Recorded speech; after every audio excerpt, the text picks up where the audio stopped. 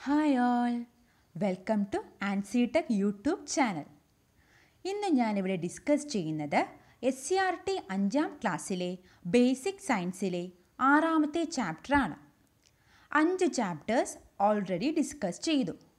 കാണാത്തവർ അതുകൂടി കാണുക. ഈ ചാനൽ ഇതുവരെ സബ്സ്ക്രൈബ് ചെയ്യാത്തവർ ഉടൻ തന്നെ സബ്സ്ക്രൈബ് ചെയ്യുക. തൊട്ടടുത്തുള്ള ബെൽ ബട്ടൺ കൂടി ക്ലിക്ക് ചെയ്താൽ ഞങ്ങൾ പുതുതായി അപ്ലോഡ് ചെയ്യുന്ന വീഡിയോസ് നിങ്ങൾക്ക് നോട്ടിഫിക്കേഷനായി ലഭിക്കും. സോ നമുക്ക് ക്ലാസ്സിലേക്ക് കടക്കാം. Chapter six a little effort lot of work ഇത്തിരി ശക്തി ഒത്തിരി ജോലി. ഈ ചാപ്റ്ററിൽ നാം നിത്യജീവിതത്തിൽ ഉപയോഗിക്കുന്ന വിവിധ ലഘു യന്ത്രങ്ങളെക്കുറിച്ചാണ് പഠിക്കുന്നത്. അപ്പോൾ ഈ ചാപ്റ്ററിൽ നാം എന്താണ് പഠിക്കുന്നത്? ഈ ചാപ്റ്ററിൽ നാം നിത്യജീവിതത്തിൽ ഉപയോഗിക്കുന്ന ലഘു യന്ത്രങ്ങളെക്കുറിച്ചാണ് പഠിക്കുന്നത്.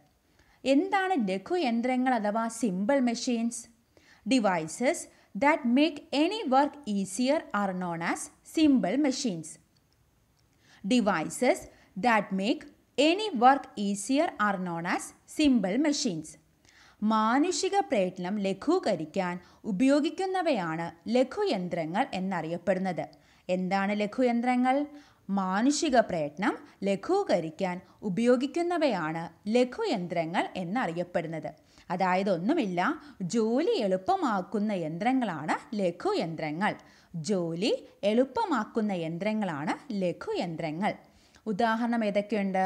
ഉത്തോലകങ്ങൾ ചരിവ് തലങ്ങൾ ആപ്പ് കപ്പി സ്ക്രൂ ഇതൊക്കെ എന്തിന് എക്സാമ്പിളാണ് ലഘുയന്ത്രങ്ങൾക്ക് ഉദാഹരണമാണ്. ഉത്തോലകങ്ങൾ ചരിവ് തലങ്ങൾ ആപ്പ് കപ്പി സ്ക്രൂ ഇതൊക്കെ ലഘുയന്ത്രങ്ങൾ അഥവാ സിമ്പിൾ മെഷീൻസിന് ഉദാഹരണമാണ്. ഈ ചിത്രം നോക്കിയേ. സീസോ കളിക്കുന്ന കുട്ടികളെ കാണാം. ഒന്നാമത്തെ സീസോയിൽ വലിയ കുട്ടി നിഷ്പ്രയാസം ചെറിയ കുട്ടിയെ ഉയർത്തി നിർത്തിയിരിക്കുന്നു. രണ്ടാമത്തെ സീസോയിലോ രണ്ട് കുട്ടികൾ തുലനം ചെയ്ത് നിൽക്കുന്നു. മൂന്നാമത്തെ സീസോയിൽ ഒരു ചെറിയ കുട്ടി നിഷ്പ്രയാസം വലിയ കുട്ടിയെ ഉയർത്തിയിരിക്കുന്നു. ഇതിൽ നിന്ന് നമുക്ക് എന്ത് മനസ്സിലാക്കാം? വലിയ ഭാരങ്ങൾ ഉയർത്താനും അധ്വാനം ലഘൂകരിക്കാനും ബലമുള്ള ദണ്ടുകൾ നാം ഉപയോഗപ്പെടുത്തുന്നുണ്ട് പെടുത്തുന്നുണ്ട്. അല്ലേ? വലിയ ഭാരങ്ങൾ ഉയർത്താനും അധ്വാനം ലഘൂകരിക്കാനും ബലമുള്ള ദണ്ടുകൾ നാം ഉപയോഗപ്പെടുത്തണം. ഓക്കെ?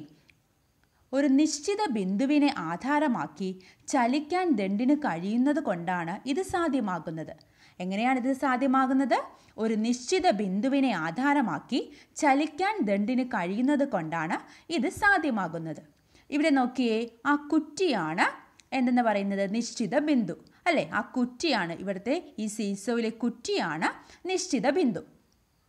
ഒരു നിശ്ചിത ബിന്ദുവിനെ ആധാരമാക്കി ചലിക്കുന്ന ദൃഢ ദണ്ഡുകളാണ് ഉത്തോലകങ്ങൾ. അപ്പോൾ എന്താണ് ഉത്തോലകങ്ങൾ? ഒരു നിശ്ചിത ബിന്ദുവിനെ ആധാരമാക്കി ചലിക്കുന്ന ദൃഢ ദണ്ടുകളാണ് ഉത്തോലകങ്ങൾ. ഓക്കെ ഉത്തോലകങ്ങൾ എന്ന് പറയുന്നത് എന്താണ്? ഒരു നിശ്ചിത ബിന്ദുവിനെ ആധാരമാക്കി ചലിക്കുന്ന ദൃഢ ദണ്ടുകളാണ് ഉത്തോലകങ്ങൾ അഥവാ ലിവേഴ്സ് എന്ന് ഇംഗ്ലീഷിൽ പറയും. അപ്പോൾ എന്താണ് levers? Levers are rigid rods that are free to turn about a fixed point. Levers are simple machines because they make our work easier levers are rigid rods that are free to turn about a fixed point. Levers are simple machines because they make our work easier okay എന്താണ്? ഒരു നിശ്ചിത ബിന്ദുവിനെ ആധാരമാക്കി ചലിക്കുന്ന ദൃഢദണ്ഡുകളാണ് ഉത്തോലകങ്ങൾ. ജോലി ലഘൂകരിക്കാൻ കഴിയുന്നത് കൊണ്ടാണ് ഉത്തോലകങ്ങൾ ലഘുയന്ത്രങ്ങൾ ആവുന്നത്. ജോലി ലഘൂകരിക്കാൻ കഴിയുന്നത് കൊണ്ടാണ് ഉത്തോലകങ്ങൾ ലഘുയന്ത്രങ്ങൾ ആകുന്നത്. ഓക്കെയാണോ ഇനി ഉത്തോലക തത്യം തത്വം അഥവാ പ്രിൻസിപ്പിൾ ഓഫ് ലിവേഴ്സിന്റെ ഉപജ്ഞാതാവാണ് ആരാണ്? ആർക്കമഡീസ്. പ്രിൻസിപ്പിൾ ഓഫ് ലിവേഴ്സിന്റെ ഉപജ്ഞാതാവ് ആരാണ്? ആർക്കമഡീസ് ആണ്. അദ്ദേഹത്തിന്റെ രാജ്യം ഇറ്റലിയാണ്. ആർക്കമഡീസിന്റെ രാജ്യം എവിടെയാണ്? ഇറ്റലിയാണ്. നിൽക്കാനൊരിടവും ഒരു ഉത്തോലകവും തന്നാൽ ഈ ഭൂമിയെ തന്നെ ഞാൻ മാറ്റിത്തരും എന്ന് പ്രസ്താവിച്ച വ്യക്തിയാണ് ആർക്കമഡീസ്. നിൽക്കാനൊരിടവും ഒരു ഉത്തോലകവും തന്നാൽ ഈ ഭൂമിയെ തന്നെ ഞാൻ മാറ്റിത്തരാം എന്ന് പറഞ്ഞ വ്യക്തി ആരാണ്? ആർക്കമിഡീസ് ആണ്. ഓക്കെ. ഇനി അടുത്ത് പഠിക്കാനുള്ളത് എന്താണ് fulcrum effort resistance? Fulcrum effort resistance അഥവാ ധാരം യജ്ഞം രോധം. എന്താണ് ധാരം യജ്ഞം രോധം? See the picture of a man lifting a big piece of rock with the help of a crowbar. Here, the crowbar acts as a lever. It is because the crowbar turns about the small stone kept below it that the big stone gets lifted. The point about which a lever turns is called the fulcrum. The point about which a lever turns is called the fulcrum. Where do we apply force? Where did we place the weight to be lifted by force? The force we apply is called effort. The force we apply is called effort. The resistive force that is overcome by the effort is called resistance. The resistive force that is overcome by the effort is called resistance. അതായത് ആ ചിത്രത്തിൽ നോക്കിയേ പാരക്കോൽ ഉപയോഗിച്ച് ഒരാൾ വലിയൊരു പാറക്കല്ല് ഉയർത്തുന്ന ചിത്രമാണിത്. പാരക്കോൽ ഉപയോഗിച്ച് ഒരു വലിയൊരു പാറക്കല്ലിനെ ഉയർത്തുന്ന ചിത്രമാണിത്.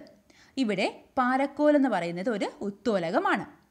പാരക്കോൽ അതിന് താഴെ നോക്ക് നോക്കിയേ പാരക്കോൽ അതിന് താഴെ വച്ചിരിക്കുന്ന ചെറിയ കല്ലിനെ ആധാരമാക്കി ചലിക്കുമ്പോഴാണ് വലിയ കല്ല് ഉയരുന്നത്. അല്ലേ? ആ പാരക്കോൽ അതിന് താഴെ വച്ചിരിക്കുന്ന ആ ചെറിയ കല്ല് കണ്ടോ? ആ ചെറിയ കല്ലിനെ ആധാരമാക്കി ചലിക്കുമ്പോഴാണ് വലിയ കല്ല് ഉയരുന്നത്. ഉത്തോലകം ചലിക്കാൻ ആധാരമാക്കുന്ന ബിന്ദുവിനെ നമുക്ക് ധാരം അഥവാ ഫൽക്രം എന്ന് വിളിക്കാം. ഓക്കെ? അതായത് ഉത്തോലകം ചലിക്കാൻ ആധാരമാക്കുന്ന ബിന്ദുവിനെ നമുക്ക് ധാരം അഥവാ ഫൽക്രം എന്ന് വിളിക്കാം. ഓക്കെ ആ ബിന്ദുവാണ്. നോക്കിയേ ഇവിടെ ആ ചെറിയ കല്ലാണ് ആ ധാരമെന്ന് പറയുന്നത് ഇവിടെ. ആ ചെറിയ കല്ലിനെയാണ് ധാരമെന്ന് പറയുന്നത്. ആണോ? നാം പ്രയോഗിക്കുന്ന ബലത്തെ യജ്ഞമെന്ന് പറയുന്നു. ഓക്കെ ആ മനുഷ്യൻ പ്രയോഗിക്കുന്ന ബലത്തെയാണ് ഇവിടെ യജ്ഞമെന്ന് പറയുന്നത്. നാം പ്രയോഗിക്കുന്ന ബലത്തെയാണ് യജ്ഞമെന്ന് പറയുന്നത്. ഇനി യജ്ഞം ഉപയോഗിച്ച് നേരിടുന്ന പ്രതിരോധമാണ് രോധം. യജ്ഞം ഉപയോഗിച്ച് നേരിടുന്ന പ്രതിരോധമാണ് രോധം. ഓക്കെ ഇവിടെ എന്ത് സംഭവിക്കുന്നു? വലിയ കല്ലിന്റെ ഭാരം അനുഭവപ്പെടുന്ന ആ സ്ഥാനമാണ് രോധം. വലിയ കല്ലിന്റെ ഭാരം അനുഭവപ്പെടുന്ന സ്ഥാനമാണ് രോധം. അപ്പോൾ എന്താണ് ഈ ചിത്രത്തിൽ നിന്ന് നമുക്ക് എന്ത് മനസ്സിലാക്കാം? മനുഷ്യന്റെ ബലത്തെയാണ് യജ്ഞം അഥവാ എഫോർട്ട് എന്ന് പറയുന്നത്. ഓക്കെ ഈ മനുഷ്യന്റെ ബലത്തെയാണ് യജ്ഞം അഥവാ എഫോർട്ട് എന്ന് പറയുന്നത്. ആ ചെറിയ കല്ലിനെ സൂചിപ്പിക്കുന്നത് ധാരം അഥവാ ഫൽക്രം. ആ ചെറിയ കല്ലിനെയാണ് ധാരം അഥവാ ഫൽക്രം എന്ന് സൂചിപ്പിക്കുന്നത്. ആ വലിയ കല്ലിന്റെ ഭാരം അനുഭവപ്പെടുന്ന സ്ഥാനമാണ് രോധം അഥവാ റെസിസ്റ്റൻസ്. ആ വലിയ കല്ലിന്റെ ഭാരം അനുഭവപ്പെടുന്ന സ്ഥാനമാണ് എന്ത്? രോധം അഥവാ റെസിസ്റ്റൻസ്. ഓക്കെ ആണോ? ഇനി ധാരം യജ്ഞം രോധം ഇവിടെ ആ സ്ഥാനം അനുസരിച്ച് ഉത്തോലകത്തിന് മൂന്നായി തിരിച്ചിട്ടുണ്ട്. ഓക്കെ അപ്പോൾ ഇത് നോക്കിയത് ഉത്തോലകത്തിന്റെ കുറച്ച് എക്സാമ്പിൾസ് ആണ് തന്നേക്കുന്നത്. Stapler forceps cutting plier scissors nut cracker lemon squeezer ഇതൊക്കെ എന്തിനാണ്? ഇതൊക്കെ നമ്മുടെ ഉത്തോലകത്തിന്റെ എക്സാമ്പിൾസ് ആണ്. ഇതിൽ സിസേഴ്സ് നമുക്കൊന്ന് നോക്കാം. സിസേഴ്സ് നോക്കിയേ സിസേഴ്സിന്റെ ദാരം എന്ന് പറയുന്നതാണ് ആ മിഡിൽ പോയിന്റ് ഈ കത്രികയുടെ ചലനത്തിന് സഹായിക്കുന്ന ആ ബിന്ദു. കണ്ടോ? ആ ബിന്ദു അതാണ് എന്തെന്ന് പറയുന്നത്? ധാരം എന്ന് പറയുന്നത്.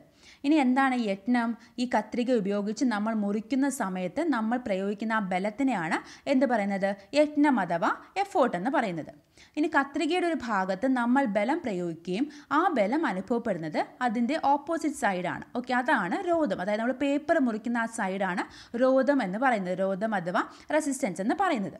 ഓക്കെ ഇതുപോലെ ബാക്കി എക്സാമ്പിൾസ് നോക്കണം. ഓക്കെ ഇനി നമുക്കിനി നോക്കാം. ത്രീ ടൈപ്സ് ഓഫ് ലിവർ ഉത്തോലകങ്ങൾ മൂന്ന് ടൈപ്സിലുണ്ട് first order lever second order lever third order lever അതായത് ഒന്നാം വർഗ ഉത്തോലകം രണ്ടാം വർഗ ഉത്തോലകം മൂന്നാം വർഗ ഉത്തോ ഉത്തോലകം ഓക്കെ ആദ്യം നമുക്ക് ഒന്നാം വർക്ക് ഉത്തോലകം നോക്കാം. The fulcrum is located between the input force and the load the fulcrum is located between the input force and the load okay ഇവിടെ എന്താണ്? യജ്ഞത്തിനും രോധത്തിനും ഇടയിൽ ധാരം വരുന്ന ഉത്തോലകമാണ് ഒന്നാം വർക്ക് ഉത്തോലകം എന്നറിയപ്പെടുന്നത്.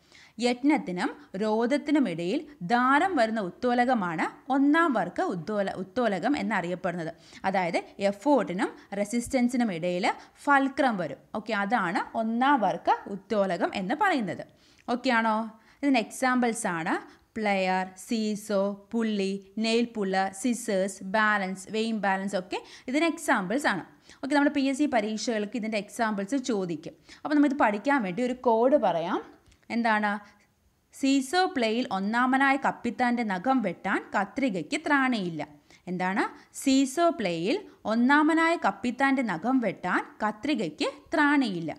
സീസോ എന്ന് പറയുന്നത് സീസോയാണ്. പ്ലേയില പ്ലേ എന്ന് പറയുന്നത് പ്ലെയർ ആണ് ഒന്നാമനായ എന്ന് പറയുന്നത് ഫസ്റ്റ് ഓർഡർ. കപ്പിത്താന്റെ ആ കപ്പിയുണ്ട്. പിന്നെ നഖം വെട്ടാൻ നഖം വെട്ടി. കത്രിക ത്രാണി ത്രാസ്. ഓക്കെ ആണോ അപ്പോൾ ഒന്നാം വർക്ക് ഉത്തോലകം പഠിക്കാനുള്ള കോഡാണ് സീസോ പ്ലേയിൽ ഒന്നാമനായ കപ്പിത്താന്റെ നഖം വെട്ടാൻ കത്രികയ്ക്ക് ത്രാണയില്ല. ഓക്കെയാണോ? സീസോ പ്ലേയിൽ ഒന്നാമനായ കപ്പിത്താന്റെ നഖം വെട്ടാൻ കത്രികയ്ക്ക് ത്രാണയില്ല. ഇതാണ് ഒന്നാം വർക്ക് ഉത്തോലകം പഠിക്കാനുള്ള കോഡ്. ഓക്കെ അപ്പോൾ ഇവിടെ ഇ എഫ് ആർ അതായത് എഫോർട്ട് ആദ്യം വരും റെസിസ്റ്റൻസ് പിന്നെ വരും പിന്നെ നടുക്കായിട്ട് ഫൾക്രം ഓക്കെ അത് ഓർത്താൽ മതി. ഒന്നാം വർഗ ഉത്തോലകത്തിൽ എന്താണ് എപ്പോഴും ഏതാണ് നടുക്ക് വരുന്നത്? ധാരം അഥവാ ഫൾക്രമാണ് നടുക്ക് വരുന്നത്. അത് നോട്ട് ചെയ്ത് വയ്ക്കുക ഇനി എന്താണ്? രണ്ടാം വർഗ ഉത്തോലകം അഥവാ സെക്കൻഡ് ക്ലാസ് ലിവർ ഓക്കെ ഇതിലെന്താ സംഭവിക്കുന്നത് വെച്ചാൽ എന്താണ്? ഇവിടെ വരുമ്പോഴത്തേക്കും the load is located between the fulcrum and the input force the load is located between the fulcrum and the input force അതായത് എന്താണ്? ദാരത്തിനും യജ്ഞത്തിനും ഇടയിൽ രോധം വരുന്ന ഉത്തോലകമാണ് രണ്ടാം വർഗ ഉത്തോലകം. ധാരത്തിനും യജ്ഞത്തിനും ഇടയിൽ രോധം വരുന്ന ഉത്തോലകമാണ് രണ്ടാം വർഗ ഉത്തോലകം. അതായത് ഫൽക്രത്തിന്റെയും എഫേർട്ടിന്റെയും നടുക്ക് ആര് വരും? റെസിസ്റ്റൻസ് വരും.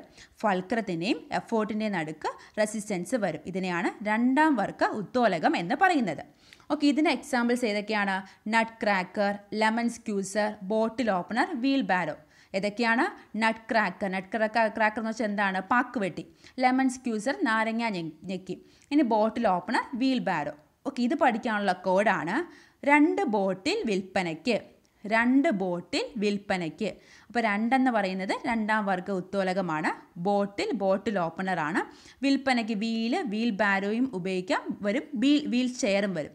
പിന്നെ എന്താണ്? പായ്ക്ക് പാക്ക് വെട്ടി. പിന്നെ അതിന് നായ്ക്ക് നാരങ്ങ. നാരങ്ങ ഞെക്കി. ഓക്കെ ആണോ? അപ്പോൾ രണ്ട് ബോട്ടിൽ വിൽപ്പനയ്ക്ക്. അപ്പോൾ രണ്ട് ബോട്ടിൽ വിൽപ്പനയ്ക്ക് എന്നുള്ളതാണ് രണ്ടാം വർക്ക് ഉത്തോലകത്തിന്റെ കോഡ്. ഓക്കെ ഇതിൽ രണ്ടെന്ന് പറയുന്ന രണ്ടാം വർഗം ബോട്ടിൽ ഓപ്പണർ ബോട്ടിൽ വിൽ വീലിൽ വിൽപ്പനയ്ക്ക് വീൽ ബാരോയും വീൽ ചെയറും പിന്നെ പായ്ക്ക് പാക്ക് വെട്ടി നായ്ക്ക് നാരങ്ങ ഞെക്കി വരും. ഓക്കെ ആണോ? അപ്പോൾ അതിൽ നടുക്ക് വരുന്ന ആരാണ്? രോധം അഥവാ റെസിസ്റ്റൻസ് ആണ് മധ്യഭാഗത്ത് വരുന്നത്. അത് ഓർത്ത് വയ്ക്കുക ഇനി എന്താണ്? തേർഡ് ഓർഡർ ലിവർ അഥവാ മൂന്നാം വർഗ ഉത്തോലകം. ഇതിലെന്താ സംഭവിക്കുന്നത് നോക്കിയേ? ഇതിൽ the input force is between the fulcrum and the load the input force is between the fulcrum and the load അതായത് രോധത്തിനും ദാരത്തിനും ഇടയിൽ യജ്ഞം വരുന്ന ഉത്തോലകമാണ് മൂന്നാം വർഗ ഉത്തോലകം.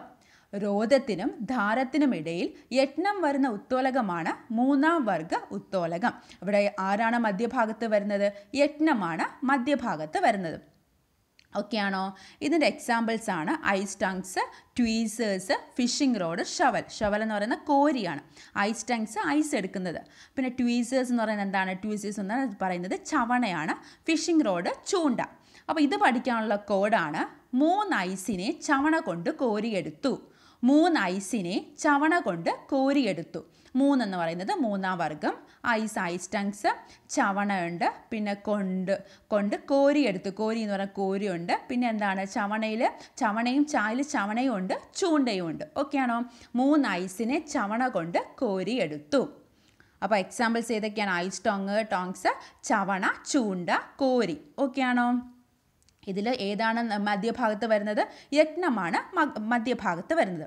അപ്പോൾ ഒന്നാം വർഗ ഉത്തോലകം രണ്ടാം വർഗ ഉത്തോലകം മൂന്നാം വർഗ ഉത്തോലകം അപ്പോൾ ഇത് പഠിക്കാൻ വേണ്ടി നമ്മൾ ഓർത്ത് അതി ഫ്രീ എന്നൊന്ന് പഠിച്ചു വെച്ചാൽ എഫ് ആ ഇ അതായത് ആദ്യത്തെ കേസിൽ ഒന്നാം വർഗത്തിൽ ആരാണ്? എഫ് ഫൽക്രമാണ് മിഡിലിൽ വരുന്നത്. രണ്ടാം വർഗമാകുമ്പോൾ ഏതാണ്? റെസിസ്റ്റൻസ് ആയിരിക്കും മധ്യഭാഗത്ത് വരുന്നത്. മൂന്നാം വർഗമാകുമ്പോൾ എഫേർട്ട് ആയിരിക്കും മധ്യഭാഗത്ത് വരുന്നത്. അപ്പോൾ ആ മധ്യഭാഗത്ത് വരുന്നത് നോക്കി വെച്ചാൽ ബാക്കി എളുപ്പമായിരിക്കും. ഫ്രീ എന്ന് ഓർത്താൽ മതി. F fulcrum R resistance E effort. Okay ഇതാണ് ഒന്ന് രണ്ട് മൂന്നാം വർഗ ഉത്തോലകങ്ങളെക്കുറിച്ച് പറയാനുള്ളത്. ഇനി അടുത്ത് നോക്കിയേ അടുത്ത് പഠിക്കാനുള്ളത് work can be made easier by adjusting the position of the effort in simple machines work can be made easier by adjusting the position of effort in simple machines അതായത് ലഘു യന്ത്രങ്ങളിൽ യജ്ഞത്തിന് സ്ഥാനം മാറ്റി ക്രമീകരിച്ചാൽ പ്രവൃത്തി കൂടുതൽ എളുപ്പമാകാം. ലഘുയന്ത്രങ്ങളിൽ യജ്ഞത്തിന് സ്ഥാനം മാറ്റി ക്രമീകരിച്ചാൽ പ്രവൃത്തി കൂടുതൽ എളുപ്പമാക്കാൻ സാധിക്കും. ഓക്കെ? ഇനി വെള്ളം കോരാൻ ഉപയോഗിക്കുന്ന ലഘുയന്ത്രം എന്താണ്? പുള്ളി. അല്ലേ? വെള്ളം കോരാൻ ഉപയോഗിക്കുന്ന ലഘുയന്ത്രമാണ് പുള്ളി. സാധനങ്ങളെ കൊണ്ടുപോകാൻ ഉപയോഗിക്കുന്നതാണ് വീൽ ബാരോ. സാധനങ്ങളെ കൊണ്ടുപോകാൻ ഉപയോഗിക്കുന്നതാണ് വീൽ ബാരോ. ഓക്കെ. ഇനി നോക്കിയേ. The invention of the wheel was a big leap in the history of progress of mankind today we cannot even imagine a world without the wheels How great is the service of wheels in the field of transportation and the transfer of goods? Look at the picture of a wheelbarrow. Isn't it the wheel that helps to move heavy loads? The wheel of the wheelbarrow turns on a road that acts as an axis. അതായത് എന്താണ് ചക്രങ്ങളുടെ കണ്ടെത്തൽ മാനവ പുരോഗതിയുടെ ചരിത്രത്തിലെ ഒരു കുതിച്ചുചാട്ടമാണ് ചക്രങ്ങളില്ലാത്തൊരു ലോകം ഇന്ന് നമുക്ക് സങ്കല്പിക്കാനാവില്ല ഗതാഗതത്തിനും ചരക്കു നീക്കത്തിനും ചക്രങ്ങൾ നൽകുന്ന സേവനം എത്ര വലുതാണ്? വീൽബാരയുടെ ചിത്രം നോക്കൂ. ഭാരമേറിയ വസ്തുക്കളുടെ സ്ഥാനം മാറ്റാൻ ഇതിന്റെ ചക്രമല്ലേ സഹായിക്കുന്നത്? ഒരു ദണ്ടിനെ ആധാരമാക്കിയാണ് വീൽബാരോയുടെ ചക്രം തിരിയുന്നത് അല്ലേ? കണ്ടേ നോക്കി ആ ഫിഗർ ഒരു വീൽബാരോയുടെ എന്താണ്? വീൽ ബാരോ ആണ് തന്നേക്കുന്നത് അതിൽ ഒരു ദണ്ടിനെ ആധാരമാക്കിയാണ് വീൽബാരോയുടെ ചക്രം തിരിയുന്നത്. ഓക്കെ ഇനൊരു ഇനി ഒരു പോയിന്റ് അറിഞ്ഞിരിക്കുക. ലഘു യന്ത്രങ്ങളിൽ അധ്വാന ഭാരം കുറയ്ക്കാൻ യന്ത്രങ്ങളിൽ യജ്ഞത്തിന്റെ സ്ഥാനം ധാരത്തിൽ നിന്ന് പരമാവധി മാറ്റി ക്രമീകരിക്കണം. ഓക്കെ. ലഘു യന്ത്രങ്ങളിൽ അധ്വാന ഭാരം കുറയ്ക്കാൻ യന്ത്രങ്ങളിൽ യജ്ഞത്തിന്റെ സ്ഥാനം ധാരത്തിൽ നിന്ന് പരമാവധി മാറ്റി ക്രമീകരിക്കണം. ഓക്കെ. കൂടുതൽ ദൂരം കൃത്തി ക്രമീകരിച്ചാൽ എന്ത് സംഭവിക്കാം? ലഘു യന്ത്രങ്ങളിലെ അധ്വാന ഭാരം നമുക്ക് കുറയ്ക്കാൻ സാധിക്കും. ഇനി അടുത്തതാണ് എന്താണ് ചരിവ് തലം അഥവാ inclined plane did you see the simple way in which the labourers load heavy logs of woods in a lorry big logs of wood kept inclined make the job easier അപ്പോൾ എന്താണ് ചരിവ് തലം അഥവാ ഇൻക്ലൈൻഡ് പ്ലെയിൻ ഒരു പരന്ന തലം തറയുമായി ഒരു പ്രത്യേക കോണിൽ സജ്ജീകരിക്കുന്ന ലഘുയന്ത്രങ്ങളാണ് ചരിവ് തലം. ഒരു പരന്ന തലം തറയുമായി ഒരു പ്രത്യേക കോണിൽ സജ്ജീകരിക്കുന്ന ലഘുയന്ത്രങ്ങളാണ് ചരുവുതലം. ഭാരമേറിയ തടികൾ ലോറിയിൽ കയറ്റാൻ തൊഴിലാളികൾ ഉപയോഗിക്കുന്നതാണ് ചരുവുതലം. ഫിഗറി കണ്ടോ? ഭാരമേറിയ തടികൾ ലോറിയിൽ കയറ്റാൻ വേണ്ടി തൊഴിലാളികൾ ഉപയോഗിക്കുന്നതാണ് ചരിവുതലം. ഒരു ചരിവ് തലത്തിന്റെ നീളം കൂടുന്നതനുസരിച്ച് യാന്ത്രിക ലാഭം കൂടുന്നു. ഒരു ചരിവ് തലത്തിന്റെ നീളം കൂടുന്നതനുസരിച്ച് യാന്ത്രിക ലാഭം കൂടുന്നു. യാന്ത്രിക ലാഭം എന്ന് പറയുന്നത് മെക്കാനിക്കൽ അഡ്വാന്റേജ് അതായത് എന്താണ്? യജ്ഞം കുറവായിരിക്കും അല്ലെ? നമ്മൾ പ്രയോഗിക്കുന്ന ബലം കുറവായിരിക്കും. ഒരു ചരിവ് തലത്തിന്റെ നീളം കൂടുന്നതനുസരിച്ച് നമ്മൾ കുറയ്ക്കുന്ന കൊടുക്കേണ്ട ബലം എന്തായിരിക്കും? കുറവായിരിക്കും. ഓക്കെയാണോ അപ്പോൾ കുറഞ്ഞ ബലത്തിൽ കൂടുതൽ പ്രവർത്തനം ചെയ്യാൻ സാധിക്കുന്നു അല്ലെ? കുറഞ്ഞ ബലത്തിൽ കൂടുതൽ പ്രവർത്തനം ചെയ്യാൻ സാധിക്കുന്നു. ഭാരങ്ങളെ ഉയർത്തുവാനും താഴ്ത്തുവാനും സാധിക്കും. അതിന് എക്സാമ്പിളാണ് ആപ്പ് വെഡ്ജ് എന്ന് പറയുന്ന ആപ്പ് സ്ക്രൂ ഒക്കെ ഇതിന് എക്സാമ്പിൾസ് ആണ്. മരപ്പണിക്കാർ ഉപയോഗിക്കുന്നത് ആ ആ ഉപയോഗിക്കുന്ന ആപ്പ് ചരിഞ്ഞ തലത്തിന്റെ വകഭേദകമാണ്. മരപ്പണിക്കാർ ഉപയോഗിക്കുന്ന ആപ്പ് ചരിഞ്ഞ പ്രതല തലത്തിന്റെ വകഭേദമാണ്. ആണി അനായാസം ചുമരിൽ അടിച്ചു കയറ്റാൻ സാധിക്കുന്നത് എന്തുകൊണ്ടാണ്? അതിന്റെ അഗ്രഭാഗത്ത് ചരുവുതലങ്ങൾ ഉള്ളതുകൊണ്ടാണ്. ആണി അനായാസം ചുമരിൽ അടിച്ചു കയറ്റാൻ സാധിക്കുന്നത് അതിന്റെ അഗ്രഭാഗത്ത് ചരുവുതലങ്ങൾ ഉള്ളതുകൊണ്ടാണ്. ഓക്കെ ചെറിയ ലഘുയന്ത്രങ്ങൾക്ക് ഉദാഹരണമാണ്. സൈക്കിൾ നെയിൽ കട്ടർ തയ്യൽ മെഷീനൊക്കെ ചെറിയ ലഘുയന്ത്രങ്ങൾക്ക് ഉദാഹരണമാണ്. ഇനി നമുക്ക് പഠിക്കാനുള്ള എന്താണ് മെക്കാനിക്കൽ അഡ്വാന്റേജ് അഥവാ യാന്ത്രിക ലാഭം? ഏതൊരു മെക്കാനിക്കൽ ഡിവൈസ് ആയിക്കോട്ടെ അതിന്റെ മെക്കാനിക്കൽ എഫിഷ്യൻസി അഥവാ കാര്യക്ഷമത പറയുന്ന ഒരു റേഷ്യോയിലാണ് ഏതൊരു മെക്കാനിക്കൽ ഡിവൈസ് ആയിരുന്നാലും അതിന്റെ മെക്കാനിക്കൽ എഫിഷ്യൻസി അഥവാ കാര്യക്ഷമത പറയുന്നത് ഒരു റേഷ്യോയിലാണ് ആ mechanical efficiency equals output by input എന്താണ്? Output by input ratio of output to input ആണ് മെക്കാനിക്കൽ എഫിഷ്യൻസി എന്ന് പറയുന്നത്. മെക്കാനിക്കൽ അഡ്വാന്റേജ് എന്നും പറയും. ഓക്കെ ഇവിടെ അതായത് നമ്മൾ എന്താണ് എന്താണ് ഇൻപുട്ട് നമ്മൾ കൊടുക്കുന്ന എഫോർട്ട് അല്ലെ? നമ്മൾ കൊടുക്കുന്ന ആ ഒരു ഫോഴ്സിനെയാണ് ഇൻപുട്ട് എന്ന് പറയുന്നത്. ഔട്ട്പുട്ട് എന്താണ്? ആ റെസിസ്റ്റൻസ് നമുക്ക് കിട്ടുന്ന ആ ഒരു ഔട്ട്പുട്ട് അതാണ് ഔട്ട്പുട്ട് അത് റെസിസ്റ്റൻസ് എന്ന് പറയുന്നത്. അപ്പോൾ നമുക്ക് എഫിഷ്യൻസി വേറൊരു ടേംസിൽ പറയാം. റെസിസ്റ്റൻസ് ബൈ എഫോർട്ട് എന്ന് പറയാം. ഔട്ട്പുട്ട് ബൈ ഇൻപുട്ട് അല്ലെങ്കിൽ റെസിസ്റ്റൻസ് ബൈ എഫോർട്ട് എന്നും പറയാം. ഇനി ഈ മെക്കാനിക്കൽ അഡ്വാന്റേജ് ഓരോ ഉത്തോലകത്തിന് അതായത് ഒന്നാം വർഗ ഉത്തോലകത്തിനും രണ്ടാം വർഗ ഉത്തോലകത്തിനും മൂന്നാം വർഗ ഉത്തോലകത്തിനും മാറി മാറിയാണ് ഇരിക്കുന്നത്. അതെങ്ങനെയെന്ന് പറയാം? അതായത് ഒന്നാം വർഗ ഉത്തോലകത്തിന് മെക്കാനിക്കൽ അഡ്വാന്റേജ് എന്ന് പറയുന്നത് ഗ്രേറ്റർ ദാൻ വണ്ണോ ലെസ് ദാൻ വണ്ണോ ഈക്വൽ ടു വണ്ണോ ആയിരിക്കും. ഒന്നാം വർഗ ഉത്തോലകത്തിന് mechanical advantage greater than one less than one equal to one ആയിരിക്കും. രണ്ടാം വർഗ ഉത്തോലകത്തിന് mechanical advantage greater than one ആയിരിക്കും. രണ്ടാം വർഗ ഉത്തോലകത്തിന് mechanical advantage greater than one ആയിരിക്കും. മൂന്നാം വർഗ ഉത്തോലകത്തിന് മെക്കാനിക്കൽ അഡ്വാന്റേജ് ലെസ് ദാൻ വണ്ണും ആയിരിക്കും. മൂന്നാം വർഗ ഉത്തോലകത്തിന് മെക്കാനിക്കൽ അഡ്വാന്റേജ് ലെസ് ദാൻ വണ്ണും ആയിരിക്കും. അപ്പോൾ അത് ഇമ്പോർട്ടന്റ് ആണ്. നോട്ട് ചെയ്യുക എന്താണ്? ഒന്നാം വർഗ ഉത്തോലകത്തിന് mechanical advantage greater than one less than one or equal to one രണ്ടാം വർഗ ഉത്തോലകത്തിന് mechanical advantage greater than one മൂന്നാം വർഗ ഉത്തോലകത്തിന് mechanical advantage less than one okay ആണോ അപ്പോൾ ഇത്രയാണ് നമുക്ക് ഈ ചാപ്റ്ററിൽ പഠിക്കാനുള്ളത്. ഈ പാഠഭാഗവുമായി ബന്ധപ്പെട്ട പി എസ് സി ക്വസ്റ്റ്യൻസ് നമ്മൾ ഡിസ്കസ് ചെയ്തിട്ടുണ്ട്. വീഡിയോയുടെ അഭിപ്രായങ്ങൾ താഴെ കമന്റ് ബോക്സിൽ കമന്റ് ചെയ്യുക. ഇഷ്ടപ്പെട്ടാൽ മറ്റുള്ളവരിലേക്ക് ഷെയർ ചെയ്യാനും മറക്കരുത്. താങ്ക്